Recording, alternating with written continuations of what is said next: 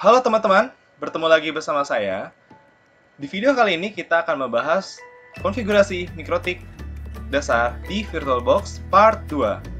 Sebelum kita masuk ke videonya, mari kita sama-sama dukung channel ini dengan cara subscribe, komen, like, dan share jika menurut teman-teman video ini bermanfaat. Dan jangan lupa untuk menekan lonceng notifikasi agar teman-teman selalu update info-info menarik dari channel ini. Terima kasih. Oke, langsung saja. Uh, sebelum teman-teman uh, mengikuti langkah-langkah di video ini, teman-teman harus sudah selesai uh, melakukan konfigurasi mikrotik dasar yang part 1. Untuk link videonya saya sertakan di deskripsi.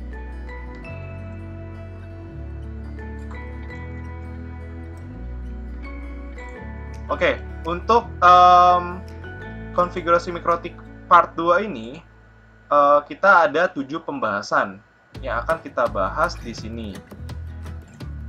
Nah, yang pertama kita akan membahas tentang uh, bagaimana cara mengaktifkan fitur drag and drop di VirtualBox. Karena kita uh, untuk konfigurasi mikrotik ini kita menggunakan virtual machine yaitu VirtualBox, uh, maka kita uh, harus mengaktifkan fitur drag and drop di VirtualBox. Untuk apa sih fitur drag and drop ini? Gunanya kita akan uh, mengcopy file atau kita akan mendrag file baik itu software ataupun file lainnya dari uh, komputer host kita nih, komputer asli kita uh, ke komputer yang virtual, yang di VirtualBox itu. Nah, apa sih yang akan kita kopikan? Nanti kita akan mengopikan software-software. Uh, untuk softwarenya uh, yang sudah teman-teman download untuk linknya nanti juga akan saya sertakan di deskripsi video. Jadi yang pasti yang akan kita kopikan adalah Winbox. Untuk Winbox sendiri ini adalah Winbox yang jadul. Jadi karena kita menggunakan versi mikrotiknya itu yang 5.21 jadi uh, saya sudah sertakan untuk Winboxnya versi jadul. Kalau misalkan teman-teman menggunakan yang versi terbaru, berarti teman-teman bisa download uh, Winboxnya atau bisa pakai yang Windows yang 64 atau yang 32 itu yang sudah yang terbaru. Jadi seperti itu. Nanti kita uh, sangat mudah sekali tinggal drag aja dari komputer asli kita ke komputer virtual. Nah, setelah Winbox-nya kita juga nanti akan uh, mendrag yang namanya software putih. Putih ini adalah software yang nantinya kita akan gunakan untuk uh, meremote si mikrotik. Nah, itu untuk yang pertama. Untuk yang kedua, kita akan belajar bagaimana cara remote mikrotik menggunakan VirtualBox, sorry, menggunakan Winbox, juga uh, via web atau via putih. Nanti kita akan pelajari itu. Terus yang ketiga kita akan uh, menutup servis-servis pada mikrotik yang sebelumnya mungkin teman-teman bisa login uh, masuk ke konfigurasi mikrotik itu via web. Nanti kita akan tutup untuk servis via web atau juga via telnet dan lain sebagainya. Jadi kita fokuskan untuk uh, login mikrotik ini via Winbox saja. Misalkan seperti itu, itu bisa.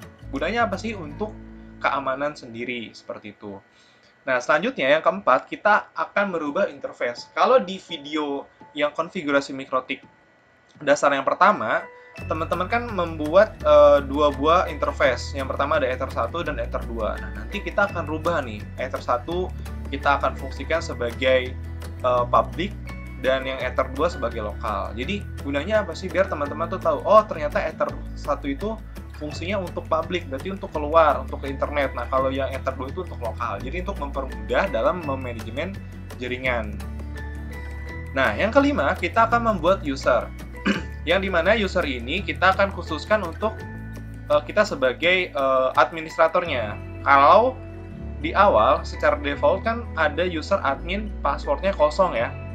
Nah nanti kita akan disable untuk yang user yang default itu yang admin kita akan membuat user baru dan kita akan memberikan uh, password dan juga kita akan belajar tentang uh, hak aksesnya. Jadi kita bisa membuat beberapa user dan kita bisa menentukan hak aksesnya itu untuk apa aja. Apakah dia bisa mengontrol semuanya atau hanya sebagian atau dia hanya bisa melihat saja.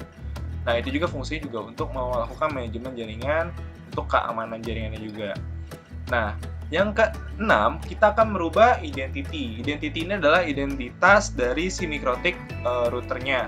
Jadi kalau misalnya nanti teman-teman uh, memiliki uh, jaringan yang sangat kompleks, yang sangat luas, di mana ada banyak router-router uh, mikrotik, ya teman-teman harus uh, melakukan perubahan identity agar teman-teman bisa melakukan deteksi atau melakukan manajemen jaringan dengan sangat mudah karena teman-teman sudah menentukan identiti masing-masing dari router tersebut.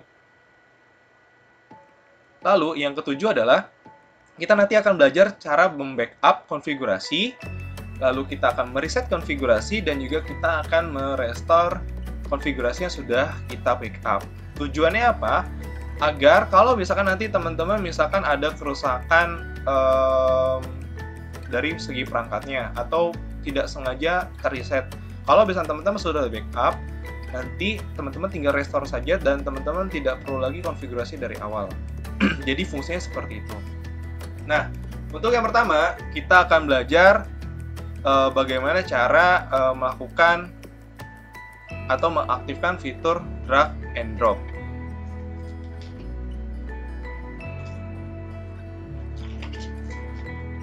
Nah, untuk langkah pertama silakan teman-teman uh, buka VirtualBox-nya ya.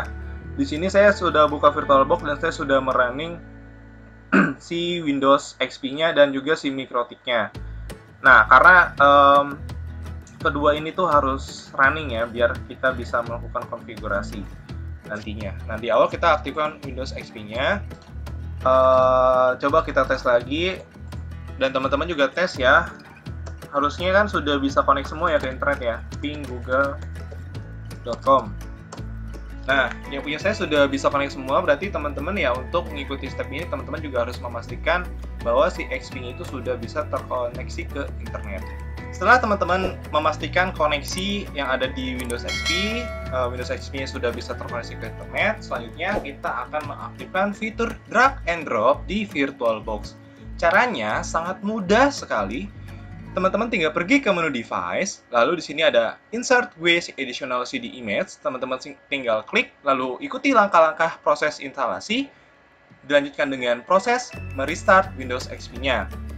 Nanti, setelah teman-teman melakukan restart Windows XP, teman-teman pergi lagi ke menu device, lalu pilih bidirectional. Yang tadinya sebelum disable, kalian pilihnya bidirectional agar nanti antara virtual machines di sini Windows XP bisa saling bertukar file dengan Windows 10 yang ada di laptop asli. Jadi sistemnya drag and drop. Seperti itu. Nah, tinggal teman-teman drag and drop aja uh, file yang ada di laptop aslinya ke si virtual machine seperti tampilan di sini ada tanda plus yang di mana menandakan untuk konfigurasi mengaktifkan fitur drag and drop di VirtualBox sudah berhasil.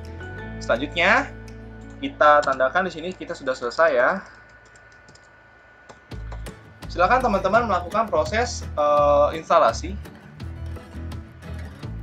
putih yang tadi teman-teman sudah drag and drop. Uh, silakan next next next aja sampai sudah selesai diinstal. Nanti untuk putihnya bisa teman-teman buka seperti ini. Nah, untuk Winbox sendiri dia sistemnya portable jadi teman-teman tidak perlu melakukan proses instalasi jadi tinggal uh, dibuka aja. Nah kita lanjut ke putihnya. Di sini teman-teman bisa uh, melakukan remote itu bisa via Winbox, web atau putih. Nah mungkin saya akan menjelaskan dari putih dulu ya.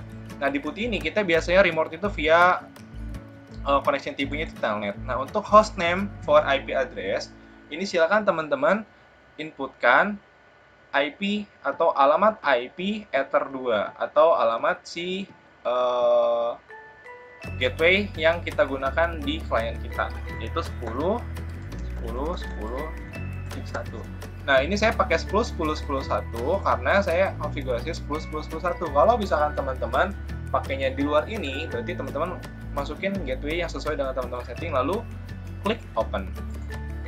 Nah, nanti dia akan masuk, silahkan inputkan saja untuk usernya admin, passwordnya kosongkan.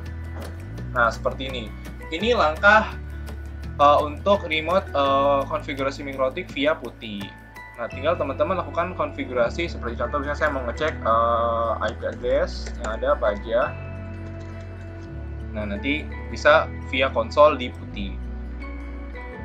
Nah, itu untuk yang putih selanjutnya kita uh, mencoba via uh, web terlebih dahulu ya sebelum kita mencoba via Windows. Teman-teman uh, silakan pergi aja ke Internet Explorer. Kalau misalnya teman-teman uh, pakai yang Windows XP yang dari saya yang teman-teman tinggal import itu biasanya saya sudah sertakan uh, Firefox. Jadi ya teman-teman tidak perlu install Firefox lagi. Tapi kalau misalkan teman-teman install baru teman-teman harus uh, menginstal si Firefox-nya terlebih dahulu. Nah, kenapa sih kalau pakai Internet Explorer tuh? Ya kadang seperti ini teman-teman nggak bisa menampilkan display-nya. Jadi ya nanti untuk uh, konfigurasi di video-video selanjutnya, saya sarankan teman-teman sudah melakukan instalasi uh, browser tambahan Mozilla Firefox atau uh, Google Chrome atau yang lainnya. Nah, sekarang kita tinggal masuk aja. Caranya mudah sekali. Di address ini teman-teman masukkan alamat IP si Ether 1 seperti ini. Lalu di go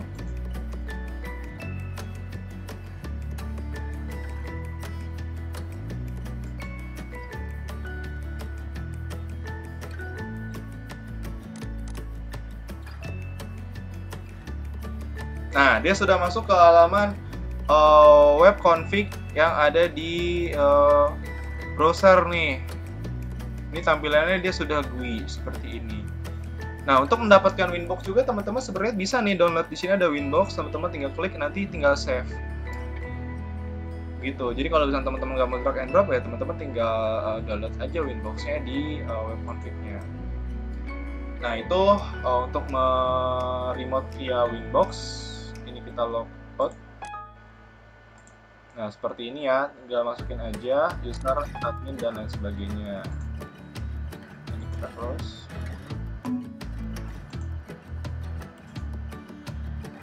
Nah selanjutnya kita akan uh, meremote uh, via Winbox. Tadi web sudah putih sudah kita via Winbox. Karena untuk step-step selanjutnya kita akan uh, konfigurasi via Winbox.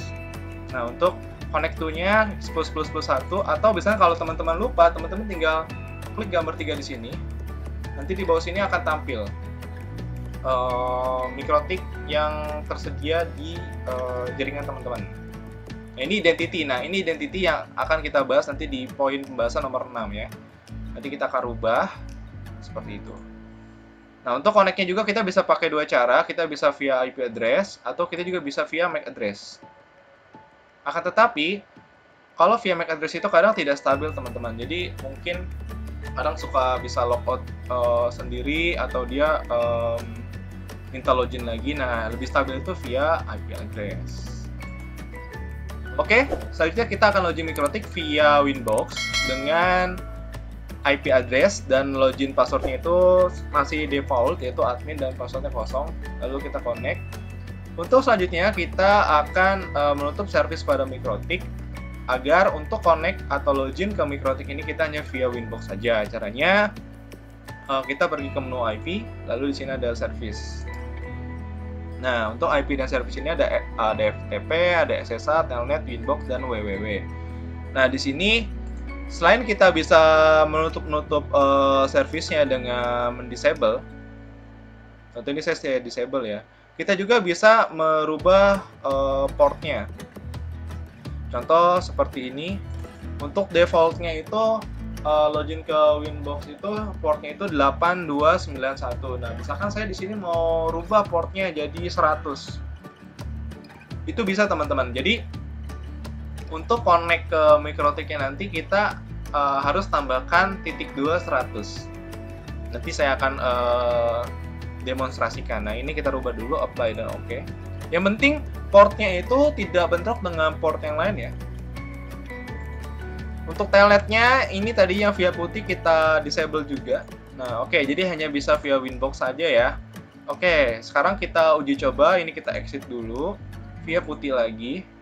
Kita masukkan alamat ether satunya. Telnet. Open ini akan bisa network error seperti itu berarti sudah berhasil uh, via internet juga kita akan coba di sini Nah, tidak bisa ya teman-teman ya, berarti sudah berhasil untuk menutupnya. Sekarang kita via Winbox lagi. Nah, kita connect di sini. Bisa? Ternyata nggak bisa. Karena untuk portnya itu kita sudah rubah tadi, jadi berapa? 100 kan? Jadi kita tinggal tambahkan titik 2, 100. Lalu kita connect. Nah, dia baru bisa lagi. Jadi, itulah cara untuk menutup service dan untuk mengganti port pada MikroTik. Nah, berarti sudah selesai.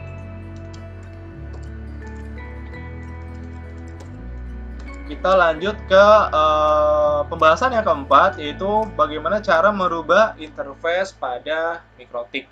Seperti yang sudah teman-teman buat, ada dua interface ya, ada Ether 1 dan Ether 2. Nah, sekarang kita akan merubah nih nama Ether satunya itu kita ganti jadi public karena itu untuk mendeklarasikan bahwa si Ether 1 ini fungsi itu untuk keluar ke internet dan Ether 2 itu sebagai lokal karena untuk jaringan lokal yang di bawahnya. Caranya kita pergi ke interface di paling atas ada interface lalu double klik di sini kan ada dua ya Ether 1 dan Ether 2 double klik di Ether 1 kita ganti namanya menjadi public lalu kita apply oke okay. dan di sini Ether 2 kita ganti namanya menjadi lokal seperti itu jadi nanti saat teman-teman melakukan konfigurasi via uh, terminal, teman-teman uh, pemanggilannya udah bukan lagi Ether 1, Ether 2, tapi public dan lokal, seperti itu. Nah, sang udah sekali kan untuk merubah interface-nya, berarti kita sudah selesai untuk pembahasan yang keempat. Kita lanjut untuk pembahasan kelima yaitu membuat user. Nah, ini adalah uh, pembahasan yang sangat seru juga dan ini sangat penting juga untuk keamanan uh, nya sendiri gitu ya. Kita akan membuat user baru dengan catatan kita akan menghapus uh, sorry bukan menghapus, kita akan mendisable user yang defaultnya. Yang mana yang admin-admin. Kenapa nggak bisa dihapus? Karena dia bawaannya gitu. Karena dari MicroTik sendiri tidak bisa dihapus. Oke, caranya sangat mudah. Kita tinggal ke tools. Sorry, bukan di tools ya, di sistem. Kita pilih user. Nah, sistem user untuk yang admin ini kita nanti akan disable. Kalau dihapus nggak bisa nih, kalau hapus yang ini nggak bisa ya. Kita hanya bisa disable. Tapi sebelum disable kita pastikan udah buat akun baru dulu. Takutnya nanti ke close kan, nggak sengaja ke close mikrotiknya kita belum buat yang baru, nanti kita nggak bisa masuk ke dalam mikrotiknya. Kita plus, nanti kita nama usernya bisa kan di sini saya nama usernya J Education di education ya. Nah ini ada grupnya nih. Grupnya itu ada tiga, ada full, read, dan write. Nah kita pingin full akses berarti kita pilihnya full. Kalau misalnya kita pengen dia cuma bisa melihat aja monitoring kita pilihnya read. Kalau dia bisa uh, merubah-rubah tapi terbatas kita pilihnya read. Nanti juga kita bisa mengatur uh, hak aksesnya lebih dalam lagi tentang full, read, dan write. Sekarang kita pilih full dulu. Nah, di sini ada password. Silakan teman-teman membuat password yang teman-teman ingat dan juga uh, jangan sampai orang lain tahu passwordnya. Bisa contoh di sini saya bikin passwordnya yang gampang aja ya, karena kita kan untuk belajar 123. Lalu 123. Uh, kita apply dan oke. Okay. Nah, sudah sampai di sini, silakan teman-teman uh, disable untuk yang default usernya. Kita disable. Nah, bisa dihapus ya kalau di sini.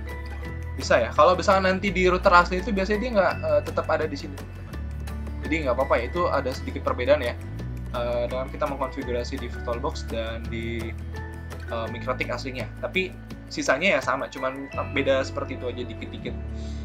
Oke sekarang kita close. Coba kita exit dan kita login lagi menggunakan user admin. Nggak bisa. Uang username atau or password. Nggak bisa. Kenapa? Karena tadi kita sudah hapus. Nah berarti kita harus pakai yang baru. Berarti j e j education. Perhatikan huruf besar huruf kecil ya teman-teman ya. Kita connect. Oh kan nggak bisa kan? Karena tadi kita bikin e nya itu besar. Passwordnya 123 nah seperti itu. Oke itu untuk membuat user dan uh, di sini saya ingin menambahkan tentang tadi hak akses ya. Gimana ya di sistem uh, user di sini ada grup. Nah ini ada hak aksesnya ya. Ini default nih skinnya. Nah untuk yang full itu dia polisinya dia bisa lokal sesa reboot dan bla bla bla bla bla bla bla. Nanti teman-teman tinggal checklist unchecklist aja terus di sini kalau read itu dia bisa apa sih dia cuma bisa lokal tapi dia nggak bisa write nggak bisa police nggak bisa FTP uh, dan sebagainya. Kalau misalkan yang write dia bisa semua FTP yang nggak bisa. Atau teman-teman juga bisa bikin uh, pengaturan uh, grup baru gitu. Nanti teman-teman tinggal bikin aja terus sesuaikan dengan yang teman-teman inginkan. Oke, jadi seperti itu ya untuk merubah, uh, sorry untuk membuat user. Kita sudah selesai untuk pembahasan yang kelima. Nah, selanjutnya kita akan masuk ke pembahasan ke-6 yaitu kita akan merubah identity. Tadi identity si mikrotik ya. Ini kan masih tampilnya itu masih mikrotik ya di sini ya. Ini masih mikrotik. Ini J, uh, J Education ini adalah adminnya, ini adalah alamat si uh, mikrotiknya, di sini ada identity-nya, di sini ada versi uh, Winbox-nya, di sini juga sebenarnya di sini kalau kalau teman-teman pakai uh, router asli, di sini adalah versi si routernya. Misalkan uh, router board berapa, versi berapa dan sebagainya. Karena kita di sini installnya itu di uh, VirtualBox atau kita bukan di perangkat router ya. Kita di uh, luar perangkat router, maka di sini x86 seperti itu. X8 ini ya berarti 32 bit ya. Nah, itu seperti itu penjelasannya. Sekarang kita akan merubah identity, caranya di uh, sorry di sistem ya. Di sistem lalu di identity nah di sini mikrotik kita rubah. Misalkan saya mau ganti jadi J education. J education lagi sesuai dengan playlist channel uh, kita di sini nah di sini langsung berubah teman-teman. J education. Berarti ini router mikrotiknya router mikrotik J education. Kalau teman-teman mau ganti nama kalian ya boleh. Oke, jadi uh, seperti itu cara merubah identity sangat mudah sekali ya, berarti selesai. Nah, yang terakhir nih, tadi kan teman-teman sudah melakukan uh, berarti total uh, eh, 5 konfigurasi ya. Kalian sudah uh, sudah menutup service, merubah interface. Eh sorry, cuma 5 ya. Uh, berarti menutup service, merubah interface, membuat user, dan juga merubah identity. Eh sorry, bukan 5, 4. Aduh, sorry, saya agak kurang fokus. 4 ya dari sini ya. Nah, kan teman-teman mungkin uh, takut nanti uh, kehapus dan lain sebagainya, ke restart atau apa, teman-teman malas ngulang lagi. Nah, kita uh, akan belajar bagaimana cara untuk membackup dan juga nanti kita akan coba mereset konfigurasi dan kita akan merestore lagi. Seperti itu. Caranya ya, pergi ke menu file, lalu kita backup di sini. Nah, kita akan backup. Ini ada udah ada nih. J2 Education backup uh, tanggal sekian dan lain sebagainya. Sekarang kita akan coba untuk uh, merestore. Seperti itu ya. Kita akan coba untuk merestore eh sorry, sebelum restore kita akan melakukan reset konfigurasi dulu di sistem, reset configuration. Nah, di sini ada keep user configuration, no default configuration. Nah, kita pilih no default configuration, lalu kita reset konfigurasi. Yes. Oke, router has been disconnect. Kita tunggu beberapa saat, lalu kita coba buka lagi si Winbox-nya. Nah, kita login coba seperti ini.